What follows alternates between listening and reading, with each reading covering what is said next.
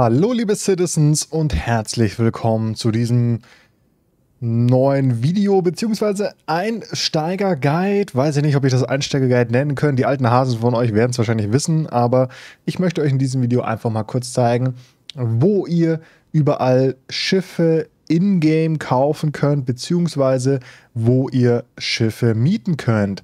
Das heißt, ich fliege jetzt in diesem Video die verschiedenen Stationen und Planeten an und zeige euch die, den Weg vom Landen auf der jeweiligen Station bis hin zu dem jeweiligen Terminal beziehungsweise ähm, Shop, wo ihr dann die jeweiligen Schiffe kaufen könnt. Ähm, ich befinde mich jetzt hier aktuell auf Leski in Delamar und das ist unsere erste Station und wir werden dann praktisch von Station zu Station reisen. Hier auf Delamar in Levski ähm, finden wir den Teach Ship Shop. Und ich werde jetzt hier einfach mal kurz landen und euch dann, wie gesagt, den Weg dorthin zeigen. Und nebenbei erzähle ich euch noch ganz kurz, dass ich euch natürlich, ich hoffe, wenn ich es nicht vergesse, äh, unten in der Videobeschreibung eine Liste bzw. eine Website verlinken werde, wo genau aufgelistet ist, welches Schiff es praktisch in welchem Shop zu kaufen gibt weil es sind natürlich relativ viele Schiffe in Star Citizen, die man ingame kaufen kann, nahezu alle. Ähm, die gibt es aber natürlich nicht in jedem Shop. Also ihr könnt nicht in jedem Shop alle Schiffe kaufen, sondern es gibt in jedem Shop immer nur die gewisse Art von Schiffe. Deswegen zeige ich euch eben auch alle Locations, weil es halt, wie gesagt, auf jeder Location andere Schiffe gibt. Deswegen, wenn ihr ein Schiff haben wollt, schaut unten in der Videobeschreibung in ähm, die Liste. Dort sind dann, wie gesagt, entweder das ist Teach Ship Shop, New Deal auf Lorville, ähm, beziehungsweise Astro Armada auf Area 18. Diese drei Shops gibt's. Und dann guckt ihr einfach hier im Video, wie ihr am besten da hinkommt. So, ich bin ähm, einfach gelandet und laufe dann natürlich hier Richtung Customs bzw. Habitations zum ähm, Aufzug und werde dann einmal nach oben fahren.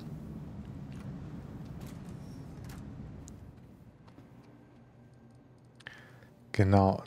To Customs ist das in diesem Fall hier. Warum da auch To Lobby steht, weiß ich gar nicht. Glaube ich, ein kleiner Fehler. Mit 3.12 gerade frisch die neuen Panels reingekommen. Deswegen kann sein, dass das vielleicht noch ein Fehler ist. Genau. Und zum Ship Shop müssen wir gar nicht weit, denn wir laufen eigentlich nur hier rüber. Und dann haben wir hier schon Teach Ship Shop und müssen da nämlich dann wieder mit dem Aufzug nach unten fahren, denn in Levski ist der Ship-Shop nämlich ähm, in so einem alten Hangar eingebaut.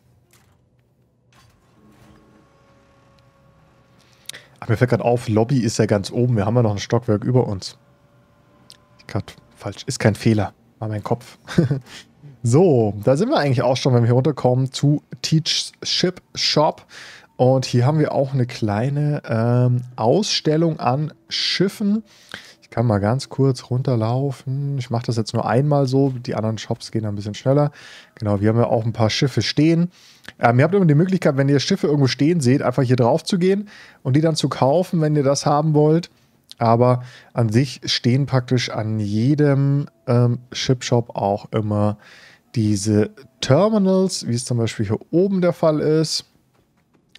Und an diesen Terminals könnt ihr dann praktisch die ähm, Schiffe kaufen. Ich scroll jetzt hier immer einmal kurz durch, damit ihr mal kurz seht, ähm, was die Schiffe so kosten, was es hier so gibt.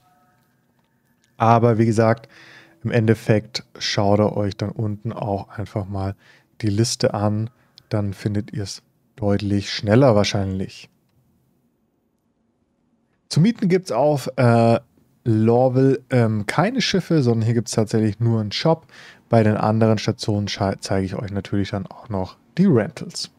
So, ich lande gerade im Sonnenuntergang von Lorville, denn dort finden wir unseren nächsten Shop, nämlich den New Deal Händler. Äh, wie gesagt, wir landen erst einmal im Tesa Spaceport wir erstmal kurz hier halbwegs konzentriert landen. Ups. Da hat es kurz meinen Hangar weggebackt. So. Zack.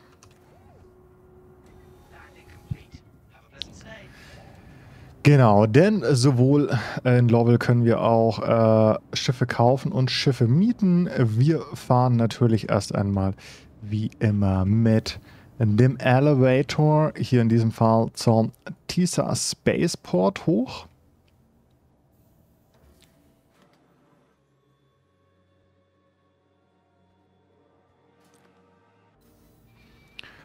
So, wir haben es dann auch gar nicht wirklich weit, denn wenn wir hier rauskommen, sehen wir schon gleich die Rentals und hier natürlich auch die Konsole, wenn sie denn mag. So. Genau, ich scroll einmal kurz durch, durch die Mietschiffe und auch zum New Deal Händler haben wir es nicht weit, denn der ist hier gleich rechts um die Ecke weiter. Dafür müssen wir einmal hier hoch. Und dann sehen wir schon hier New Deal Händler. Kleine Besonderheit, hier haben wir auch so ein bisschen eine Ausstellung mit dabei, genauso wie eigentlich auch ein Levski. Jetzt wird es gerade ein bisschen dunkel, sieht man hier nicht wirklich viel, ne? Äh, aber hier sehen wir dann zum Beispiel auch ähm, die Constellation Phoenix, die Hammerhead, die hier steht. Hier ist eine, äh, das ist eine Mustang. Ja. Hätten sie mal ein paar Lampen reinbauen können in den Hobel hier siehst ja gar nichts, ne?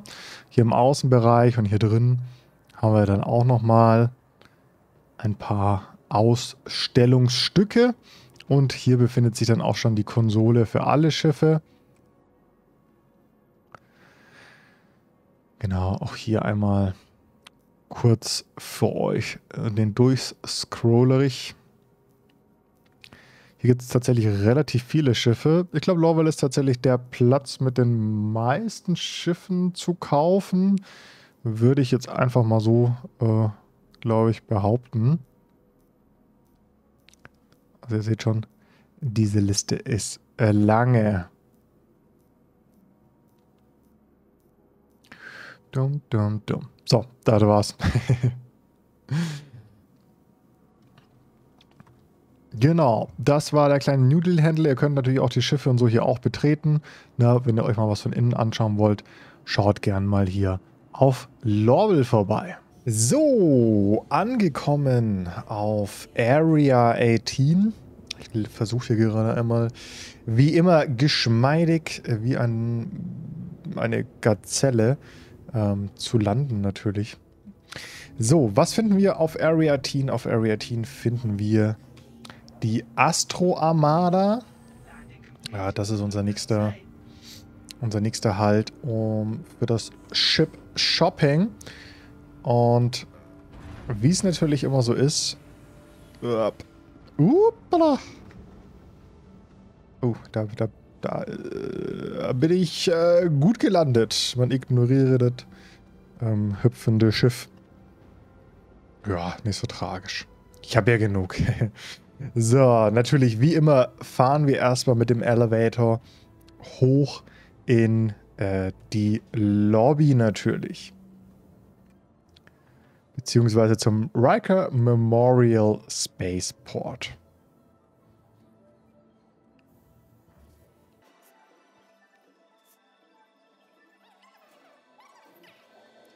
So, auch hier müssen wir wieder in, naja, ich nenne es mal ähm, die Innenstadt fahren. Aber der Weg ist auch relativ einfach. Aber wir können eigentlich zu Be Beginn kurz einmal hier anhalten. Genau. Weil hier... Na, möchtest du? Genau, hier finden wir die, ähm, ja, die Rental-Konsole. Ich kann mal ganz kurz hier einmal kurz durchscrollen. Dann seht ihr, was es hier so grob gibt. Die findet ihr praktisch dann gleich hier am Eingang, äh, wenn ihr reinkommt. So, fürs Kaufen müssen wir aber, wie gesagt, ähm, hinter in die Innenstadt.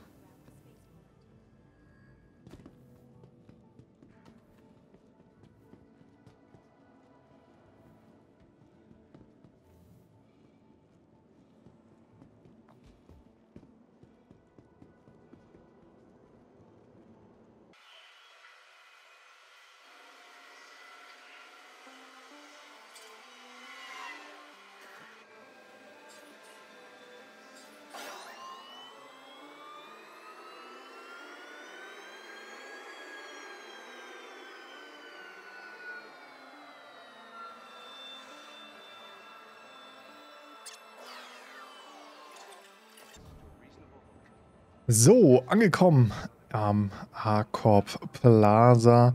Laufen wir erstmal hoch zum, naja, ich nenne es jetzt einfach mal Mittelpunkt, zum Marktplatz von dem kleinen Dorf hier.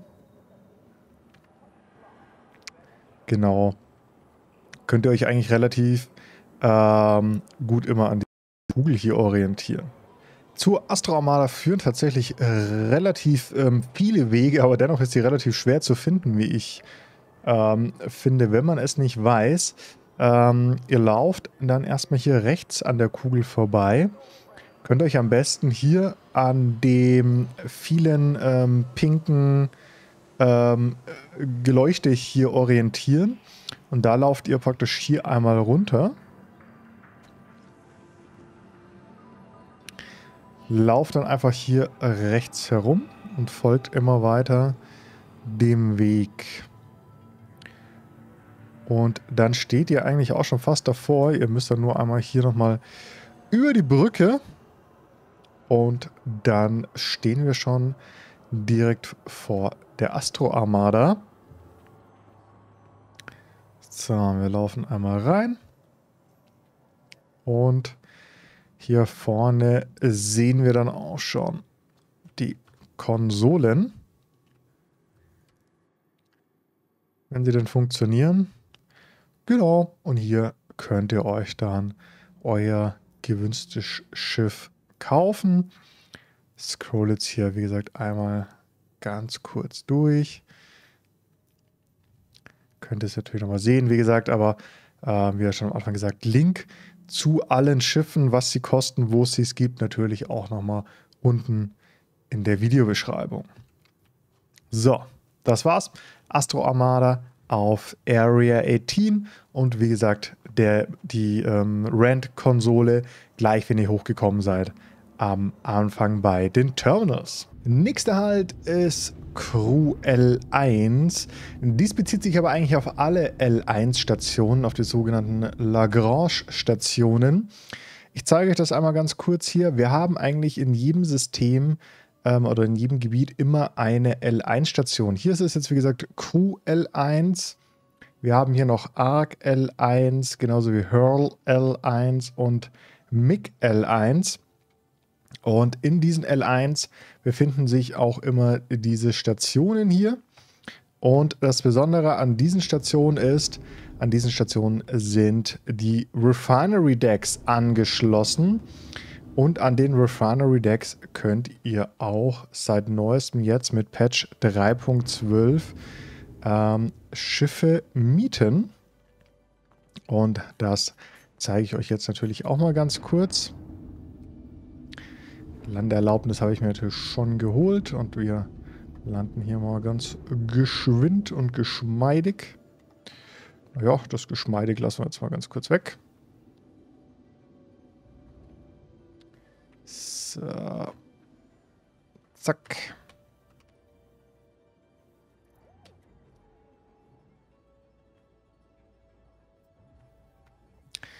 So, wir landen natürlich wie immer auf den Stationen und laufen dann einfach hinein.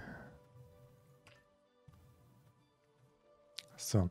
Also wichtig ist, wie gesagt, dass das nur in diesen L1-Stationen sind. Wenn ihr in den anderen Stationen seid, ähm, dort fehlen die Refinery-Stationen. Und wenn die Refinery-Stationen nicht da sind, äh, dann fehlt leider auch äh, der dazugehörige Shop. So, wir fahren ganz normal natürlich in die Lobby.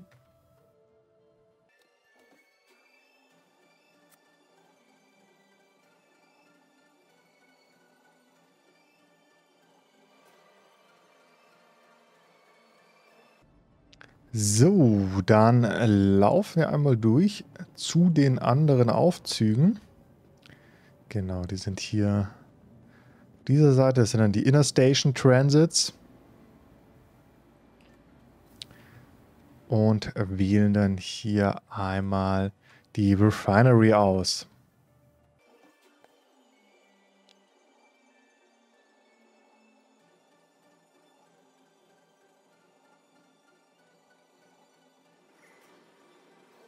So, dann müssen wir einmal komplett ähm, durch die Refinery durchrasen.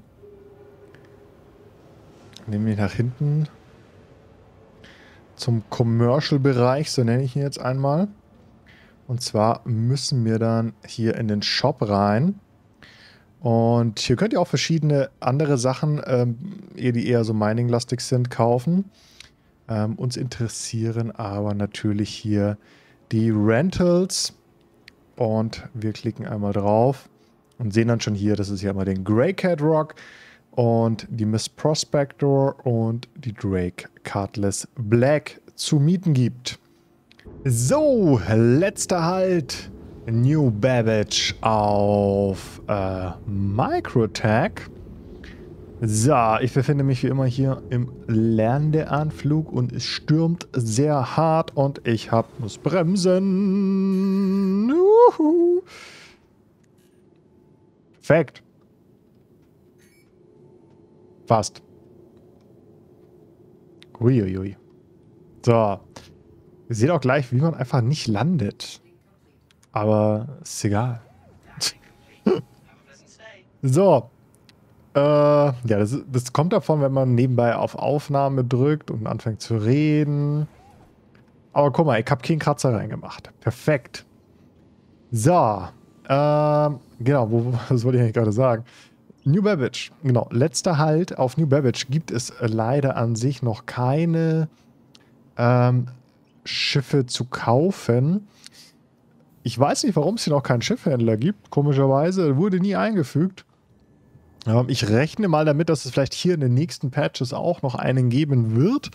Ähm, also wie gesagt, Schiffhändler haben wir leider nicht, aber wir haben ein Rental und den zeige ich euch natürlich jetzt trotzdem.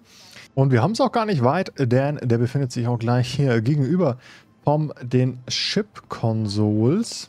Wir sehen es auch hier schon, Ship Rentals. Und wir laufen einfach hier einmal am kleinen Pico Shop vorbei. Und dann haben wir hier auch schon die Regal Luxury Rentals. Und können einmal hier an die Konsole und sehen dann hier einmal die zu mietenden Schiffe. Nennt sie zwar Luxury Rentals, aber naja, ist jetzt nicht so Luxury, wie es von außen aussieht. Aber naja, gibt auch hier ein paar Schiffe zu mieten, deswegen wollte ich es euch einfach ähm, vollständigkeitshalber auch nochmal zeigen. Und das war es eigentlich auch schon mit diesem Video. Wir verabschieden mich jetzt mit einem schönen Blick auf New Babbage. Ich hoffe, es hat euch ein bisschen gefallen und ein bisschen weitergeholfen, sodass ihr jetzt wisst, wo ihr euch denn alle Schiffe kaufen bzw. mieten könnt im Verse und wo ihr die ganzen Shops findet. Wenn es euch gefallen hat, lasst doch gerne einen Daumen nach oben da. Würde mich natürlich freuen. Schreibt mir auch gerne in die Kommentare, äh, wenn irgendwas fehlt oder euch irgendwas aufgefallen ist. Äh, bin natürlich auch immer offen für Kommentare. Abo nicht vergessen und ich hoffe, wir sehen uns im nächsten Video wieder. Bis dahin, wiederschauen und reingehauen.